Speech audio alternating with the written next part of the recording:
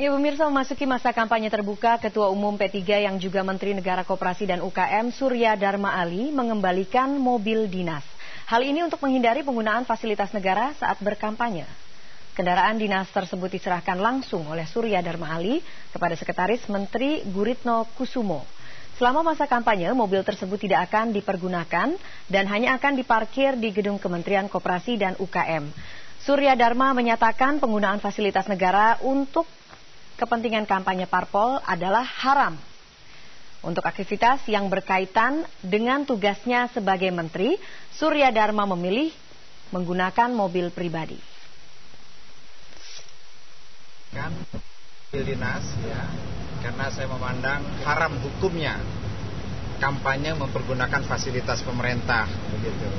Nah ini saya kembalikan untuk sementara khawatir kalau nanti misalnya tiba-tiba nggak terasa mobil mampir di kantor P3 lalu dianggap saya mempergunakan fasilitas